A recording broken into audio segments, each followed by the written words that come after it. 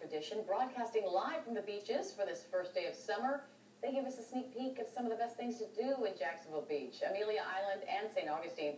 But we also had this treat. Adam Brett, a Jacksonville Beach-based artist, worked on this painting live on air from start to finish. You know, he's known for his use of bright colors and capturing the beach in a way only he can.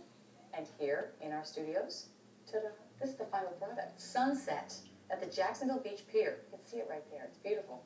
If you're interested in Brett's work, you can check out his website at adambrettart.com or you can look at his Facebook page, which is under that same name. Hopefully catches it.